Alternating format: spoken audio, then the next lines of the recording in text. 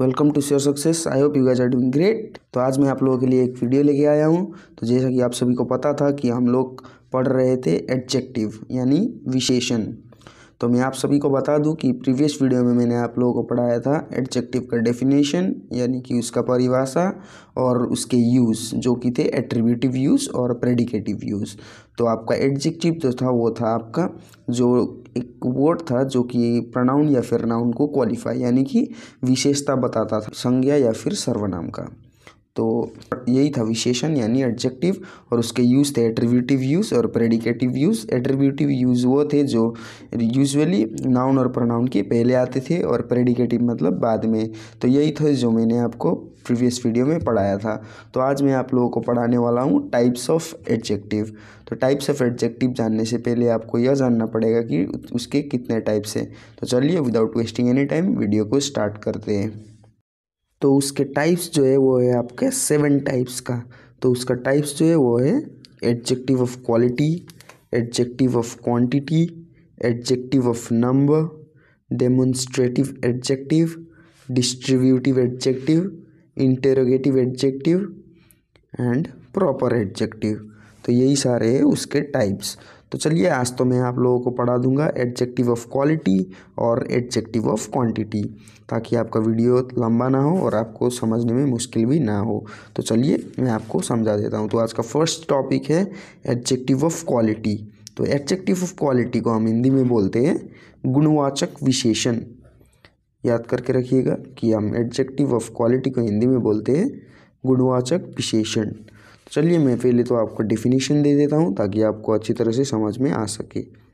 An adjective use to talk about the quality of a person और things is known as adjective of quality तो आप लोग समझ गए होंगे तो चलिए मैं आपको हिंदी में भी डेफिनेशन दे देता हूँ।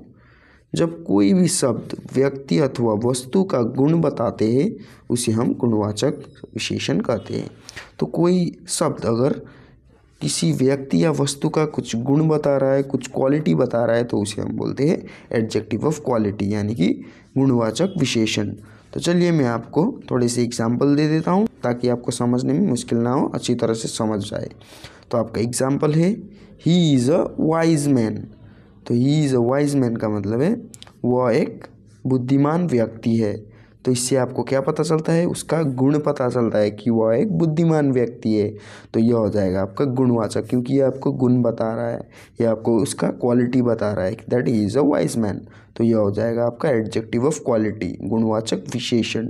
चलिए एक और एग्ज़ाम्पल दे देते हैं। She is a good girl तो वह एक अच्छी लड़की है। तो इसका भी गुण बता रहा है कि वह एक अच्छी लड़की है। तो इसीलिए यह भी हो जाएगा आपका गुणवाचक विशेषण, यानी कि एडजेक्टिव ऑफ़ क्वालिटी तो आई होप कि आपको एडजेक्टिव ऑफ़ क्वालिटी अच्छी तरह से समझ में आ गया होंगे। तो चलिए बढ़ते हैं नेक्स्ट टॉपिक की ओर, जो कि है आपका एडजेक्टिव ऑफ़ क्वांटिटी तो एडजेक्टिव ऑफ़ क्वांटिटी को हम हिंदी में बोलते हैं परिमाणवाचक विशेषण। तो चलिए जानते हैं कि परिमाणवाचक विशेषण, यानी कि एडजेक्टिव ऑफ़ क्वांटिटी क्या है? What is adjective of quantity तो आपका डेफिनेशन जो है वो इस प्रकार होगा। An adjective use to talk about the quantity of things is known as adjective of quantity तो अगर किसी चीज़ से आपका क्वांटिटी पता चले, कुछ थिंग्स का तो वो हो जाएगा आपका एडजेक्टिव ऑफ़ क्वांटिटी चलिए हिंदी में भी आपको डेफिनेशन दे देते हैं। जब कोई भी शब्द किसी भी वस्तु का परिमाण या फिर माप बताते हो, उसे हम परिमाणवाचक विशेषण कहते हैं। तो चलिए, मैं आपको कुछ एग्जांपल्स दे देता हूँ, ताकि आपको अच्छी तरह से समझ में आ जाए कि एडजेक्टिव ऑफ़ क्वांटिटी यानी कि परिमाणवाचक विशेषण क्या है। तो आपका एग्जांपल्स जो है वो कुछ इस प्रकार होगा। He drank one litre milk तो यहाँ पर बोल, बोला जा रहा है कि उसने एक लीटर दूध पिया। तो यहाँ पर आप देख सकते हैं वन लीटर जो है वो क्या इंडिकेट कर रहा है कि क्वांटिटी है ये वन लीटर यानी कि क्वांटिटी तो इसीलिए ये हो जाएगा आपका एडजेक्टिव ऑफ़ क्वांटिटी यानी कि परिमाणवाचक विशेषण. क्या क्योंकि यहाँ पर बोला गया है about use to talk about the quantity of things या फिर परिमाण या फिर माप बताते हो. यहाँ पर माप बता रहा है कि वन लीटर मिल्क बोल के तो इसलिए ये हो जाएगा आपका परिमाणवाचक विशेषण.